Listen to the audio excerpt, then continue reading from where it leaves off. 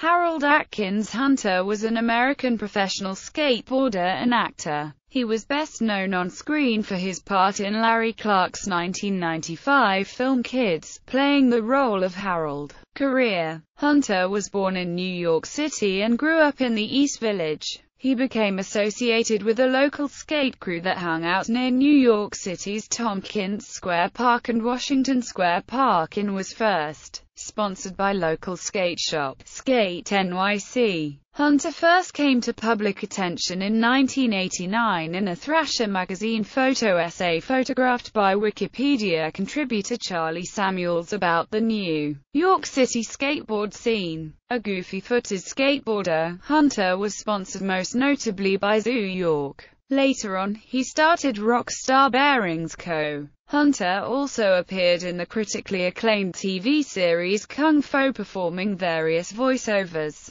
and on an episode of the popular TV series Miami Ink. In the episode he received a tattoo from Chris Garver which commemorated his New York roots and his connections from his youth with the World Trade Center. The tattoo was on his upper arm and depicted the towers with a skateboarder jumping in front of them, with the words New York City above, and SK8 or Die below. This tattoo is also revisited in another episode of Miami Ink that focuses of Chris Garver's tattoos. Death on February 17, 2006, Hunter was found dead from a cocaine-induced heart attack in his Lower East Side apartment. The Harold Hunter Foundation was founded in his memory to support city kids interested in skateboarding. Filmography New Jersey Drive, Kids, Mind Games, Hand on the Pump, Fresno Smooth, Save the Last Dance, Kung Fu, Man Under Wire,